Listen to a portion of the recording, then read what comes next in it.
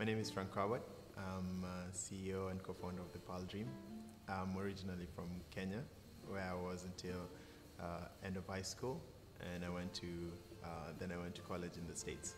Uh, we connect storytellers to the global audience. Uh, we think of um, a grandma who has great stories, and they want to share them with their kids who might be in school, and the only time they get to do it is when they're on holiday but now can, everybody can access the stories.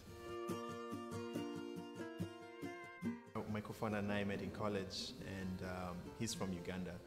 And one day he calls me and tells me um, these folk tales that just belong to our tribes.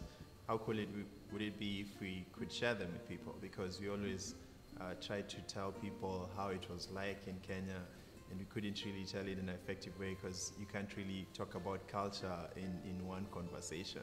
So we thought uh, maybe this is a technology, we can put them on apps, we can animate them.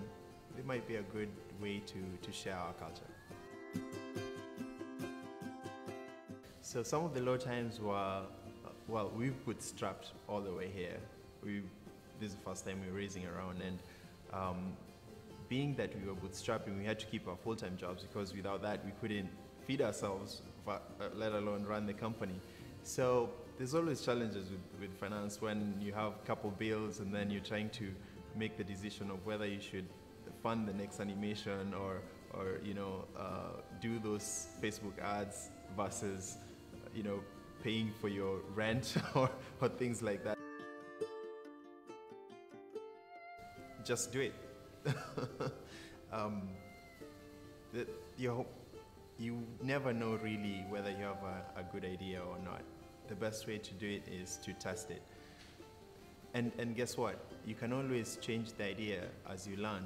I think that's the biggest part that I've, I've, I've learned that uh, there's so much more that you can learn. Uh, usually you think you have the idea and you think that that will be it. That will be the Facebook of the world. But then you realize that um, even those companies, they had to change a lot of things before it became the Facebook of the world. We want, we want to be Disney for Africa. We want, when you think of stories and a world filled with this experience of culture and people connecting and saying, you know what, that's, that's who I am and that's part of my culture. And, and also not, not seeing where you are now, but seeing how the culture grew from the tradition. You know, uh, our generation, maybe five generations from now, will see, oh, this is how my grandparents live and that's how they walk down life and, and this is why we are here.